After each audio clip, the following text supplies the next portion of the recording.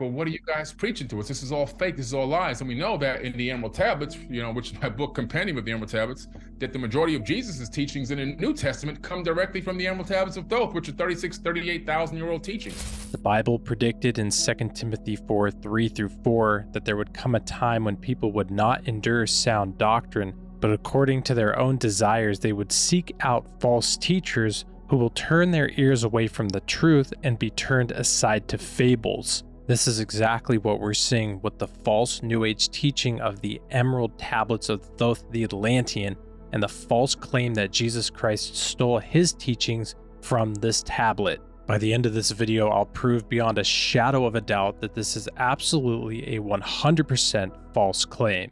First, it's important to point out that there's actually two Emerald Tablets. There's the real documented one, the Emerald Tablet of Hermes, which is about two paragraphs long, and there's the Emerald Tablet of Thoth the Atlantean, a made up work of science fiction created by a brokerage salesman turned occultist in 1939. The real and documented Emerald Tablet is a compact encrypted hermetic text. It was highly regarded by Islamic and European alchemists and until the 20th century, only Latin versions of the Emerald Tablet were known, with the oldest dating back to the 12th century. This work is attributed to Hermes Trismegistus and is tied to hermetics such as alchemy, astrology, and medicinal practices. This Emerald Tablet is the real medieval hermetic text. The Emerald Tablet of Thoth the Atlantean is a made up occultist work from 1939. The Emerald Tablet of Thoth the Atlantean is a 100% made up work by an occultist in 1939. This claimed Emerald Tablet of Thoth the Atlantean was revealed by Claude Dodgin, who hides under the pseudonym of Maurice Doreal or Dr. M. Doreal, who was a science fiction writer known for writing about UFOs, flying saucers, nuclear bomb threats, and serpent people living under the Gobi Desert. His education did not exceed elementary school, therefore, he was not a real doctor, and records indicate employment as a department store clerk, a cab driver, and a Kansas brokerage company salesman. The Emerald Tablets of Thoth is an apocryphal text self published by Maurice Doreal in 1939 after receiving permission to publish the translation from the Great White Lodge, his occultist group that he was a part of. It can still be purchased today from this Brotherhood of the White Temple. These emerald tablets are claimed to have been written by Thoth, an Atlantean priest king written 36,000 years ago. Doreal claimed that in 1925 he visited the Great Pyramids of Giza and discovered this set of ancient emerald tablets that belonged to Thoth. He claims that he was then the only person who was able to translate the text. This isn't the only false outlandish claim Maurice Doreal made. He also claimed to have been teleported inside of Mount Shasta, where he made contact with a pre Adamite non human civilization.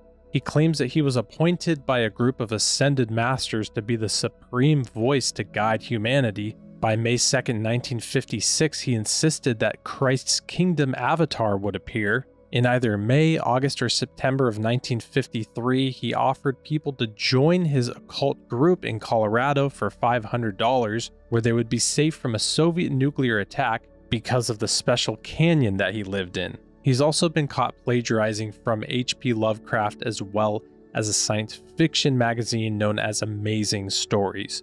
This false emerald tablet of Thoth, the Egyptian moon god, is really a New Age religion of you being your own God and not accountable to anyone but yourself. This is the same lie that Satan told Eve in the garden that she could be like God. We also see those who follow this belief system openly attacking Christianity, but wanting to come together to join with other religions. Wonder why that might be. Maybe it's because Christianity actually holds the truth. There are a lot of New Age teachers who are teaching this absolute lie that Jesus stole his teachings from these emerald tablets of Thoth the Atlantean king, priest king. But for the sake of this video, we'll just look at Billy Carson, who is the most prominent teacher teaching these absolute lies. Billy Carson of Forbidden Knowledge is the main proponent of this false science fiction religion. He's also very focused on attacking Jesus Christ and Christianity. He makes up insane claims about the Emerald Tablets with zero historical evidence. And when attacking Jesus and the Bible, he makes flat out lies as claims to make the Bible seem false and his science fiction religion seem real. We're living in a programmed uh, holographic light matrix. That is a method used for this creation, but we are in this. It's created by an entity and believe that there is a God. I don't, I, I'm, I'm not, I just believe that the biblical version is not specifically talking about the creator of the universe. I believe those are the words of men about men that have manipulated it to be God. And actually, the word God in the Bible is mistranslated by accident on purpose. The original root word for that is gods with an S. And everywhere where you see God singular, is actually supposed to have an S on the end. We must beware of false teachers like this who will try to bring in little bits of the Bible or little bits of Jesus here and there to get people who don't really know the truth of the Bible hooked, but then they completely lead them astray with their own you are God lie. And people buy into this just like Eve did with Satan in the garden.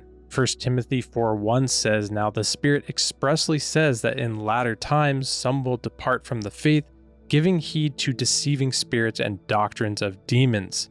And I can assure you that's exactly what this Emerald Tablets of Thoth lie is. It's a doctrine of demons. Billy Carson's attacks are heavily focused on the Catholic Church, which has a long history and is extremely easy to criticize. It's also not a very accurate representation of a biblical following of faith, and they definitely have their errors. Worth pointing out is that Billy Carson loves Egypt and is obsessed with it, Yet he doesn't attack Egypt and their grandiose riches and architecture, but he'll attack Catholic history for these same reasons. In this clip, you'll hear him attack Catholicism as if it's the perfect representation of the Bible, but no human representation will ever be as perfect as the Bible. That's why Jesus came. But you'll hear him attack that, as well as tell the same lie that Satan told Eve in the garden you can be like God. The Catholic religion has literally nothing to do with truthfully uh, achieving a higher sense of consciousness or Christ consciousness. It's really all about them. And even like, for example, the Pope or the priest of the Catholic Church, wherever you are in the world, that's supposed to be the conduit. That's supposed to be God walking in the flesh. Mm-hmm. Uh, now we know that we are all gods and God is us, but they take it to another level where they truly truthfully believe that they're the actual creator of the universe walking around. In this next clip billy carson does what he often does just says a flat out lie against the bible to make his opinions seem real and the bible seem fake. And jesus never said he was going to return. He said that christ would return. And he's talking about the consciousness coming back to this planet and raising everyone up to a high level and bringing back a new golden age. That couldn't be further from the truth Matthew 16, 15 through 17, he said to them, Jesus speaking to Peter, But who do you say that I am? Simon Peter answered and said, You are the Christ, the Son of the living God. Jesus answered and said to him, Blessed are you, Simon Barjona, for flesh and blood has not revealed this to you, but my Father who is in heaven. Jesus not only claimed to be the Christ, but also said he was coming back as the Christ. Mark 14, 61 through 62. But he kept silent and answered nothing. Again, the high priest asked him, saying to him, Are you the Christ, the Son of the Blessed? Jesus said, I am, and you will see the Son of Man sitting at the right hand of the power and coming with the clouds of heaven. Billy Carson also spreads these completely false claims with zero historical evidence that Jesus went to India to learn from the gurus and the yogis there in India between the ages of 12 and 28. And what did he go there for? He went to study and learn the Egyptian mysteries. He was an adept initiate into the Egyptian mysteries. Then he traveled to Tibet to learn Reiki healing, Qigong, healing with his hands. That was confirmed by the Dalai Lama. Then he went down into India where he learned the mystic arts, teaching reincarnation all the way back. He realized that he went to go learn the devil's work, Egyptian mysteries, which was really the teachings of Thoth the Atlantean. So anywhere in the New Testament where you see Jesus speaking or quoted as saying something, in my book, I have the, the Thoth's words from the Emerald Tablets and Jesus' words side by side, where you can see he's saying the same thing that Thoth was saying 36,000 years ago. What a coincidence that once again we have big claims from Billy Carson with zero evidence to back it up. We have the manuscripts for the Bible, thousands of years old, documenting the biblical truths, and then the Emerald Tablet of Thoth the Atlantean, which doesn't even exist. There is no physical tablet to look at and hold except the copy made by Maurice Doreals, the occultist who's known for plagiarizing. It's absolutely insane that he tries to pass this off as actual truth, but he does. And here's some more insanely big claims with zero evidence. You know, if the public knew that long before uh, Jesus, long before Moses and all these people, you know, supposedly were even born or existed, that thousands of years before them, an advanced race lived on this planet, built an Atlantean global civilization, probably Atlantean interplanetary civilization that had capability of space flight and everything else, and that they most likely genetically modified the existing hominids, which then became Homo sapiens sapien, in order to put us all in slavery and make us do the workload for them. In this next clip, Billy tries to use Old Testament verses about burnt offerings and bringing your first fruits and tries to claim that they're a Catholic teaching. While we are, as Christians, to offer God our first fruits and our best, this teaching of burnt offerings and food offerings is not Christian, it's not Catholic, it's entirely Jewish. And here, Billy tries to make Christians and Jesus look bad by claiming that this was done by Catholic priests because they're lazy. And you got to bring the offerings because we're our, we ourselves are not going to go out and hunt and, and and grow farms and everything else. So you guys, you're gonna have to bring these offerings to us. We want it already cooked, so make sure it's a burnt offering. Make sure you drain the blood. Make sure it's healthy for us and bring us your fresh, your first harvest because we want the freshest fruit and the freshest vegetables. We don't want the stale stuff. Yes. We want your freshest wheat and the freshest breads. And so people would come down and bring everything to the church and give it all away along with whatever money they had left.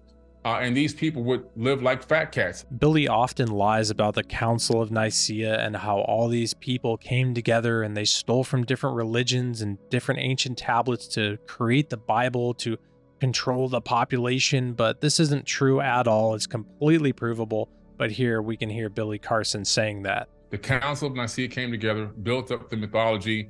They added to the story. They took from a lot of ancient texts and tablets, and then they kind of curated this book, which they want to call it a canonized Bible, right? So they took right. from here, took from there, this tablet, that tablet, this scripture, that papyrus, this non-commodity piece. We like, we, oh, we like this coming out of out of this um text over here. And then they kind of just culminated together and then remixed it, put their own spin on it.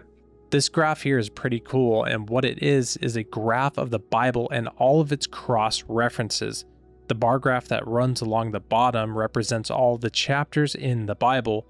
Books alternate in color between white and light gray. The length of each bar denotes the number of verses in the chapter. Each of the 63,779 cross references found in the Bible is depicted by a single arc. The color corresponds to the distance between the two chapters, creating a rainbow like effect.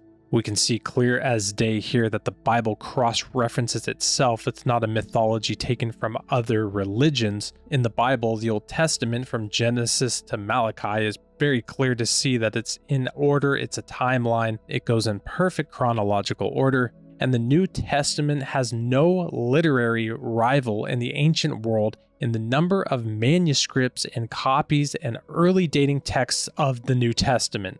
There are 5,300 Greek, 10,000 Latin, and 9,000 miscellaneous copies of the New Testament in existence today and more continue to be unearthed via archaeology. The Dead Sea Scrolls brought a lot of manuscripts to the table as well.